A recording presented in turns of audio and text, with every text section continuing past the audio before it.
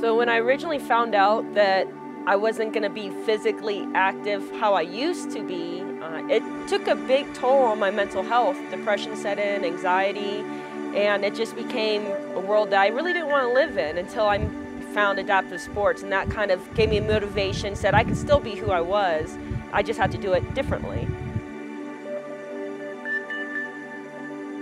What stands out about Jay is that she's gone through many of the same things what these participants, including myself, have gone through. They're, uh, you know, wrestling with uh, depression, uh, not knowing what they're capable of, and that's what's good about this clinic, get them out there and show them what they're capable of. Through the years, I've done a lot of different adaptive sports, including Nordic cross country and biathlon, swimming, cycling, rock climbing, track and field. I could keep going, there's a lot. Anything I can do besides sitting volleyball and tennis, those just aren't my things.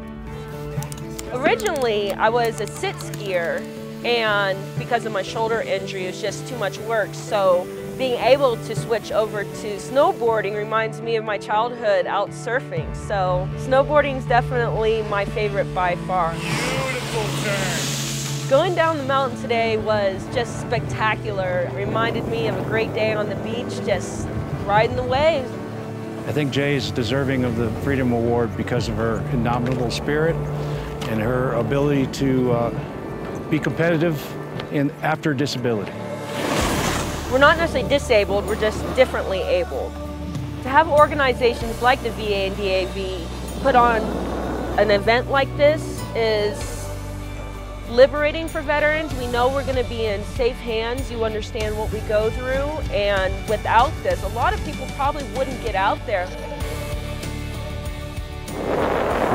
Adaptive Sports saved my life.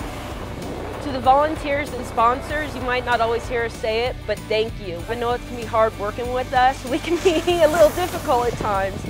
So a big thank you from all of us.